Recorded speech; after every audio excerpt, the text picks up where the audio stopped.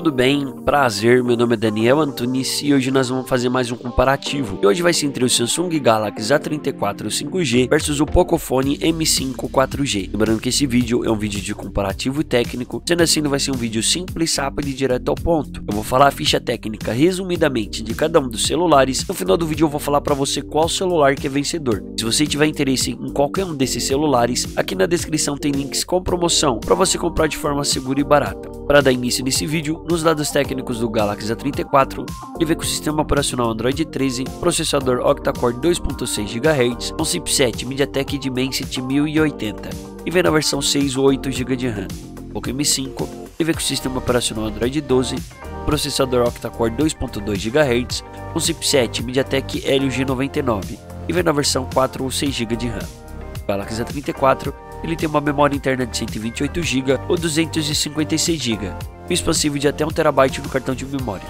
Poco M5 ele tem uma memória interna de 64 GB ou 128 GB, e expansível de até 1TB no cartão de memória. O Galaxy A34 ele tem um peso de 199 gramas. Poco M5 ele tem um peso de 201 gramas. O Galaxy A34 ele tem uma tela infinita de 6.6 polegadas Full HD+. O Poco M5 ele tem uma tela infinita de 6.5 polegadas Full HD+. No Galaxy A34, ele tem uma tela de 120 Hz, uma tela Super AMOLED e uma câmera frontal de 13 megapixels. No Poco M5, ele tem uma tela de 90 Hz, uma tela IPS LCD, uma câmera frontal de 5 megapixels.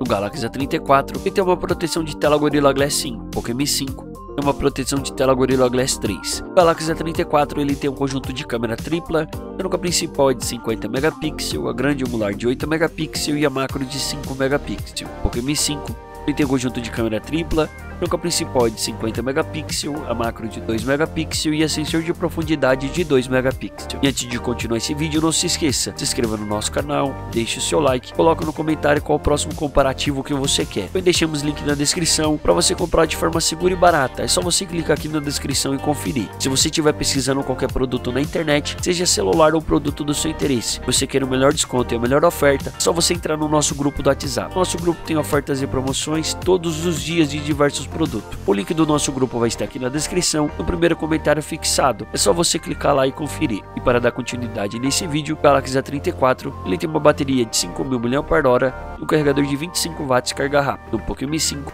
ele tem uma bateria de 5.000 mAh um carregador de 18 watts carga rápida. O Galaxy A34 ele tem desbloqueio por reconhecimento facial, sensor de impressão digital na tela e câmeras com estabilização ótica. No Poco M5 e tem desbloqueio por reconhecimento facial, sensor de impressão digital lateral e câmeras com estabilização digital. No resultado desse comparativo entre o Galaxy A34 versus o Poco M5, o Galaxy A34 ele é vencedor. Porém, se você tem uma opinião diferente, não tem problema nenhum, pode deixar no comentário e pode colocar o porquê. Não esqueça de acessar o nosso canal, conferir todos os nossos vídeos, nossos comparativos. Entra lá e confira. Assim nós vamos encerrar mais um vídeo, porém vou te esperar e vou te aguardar. Até o próximo vídeo.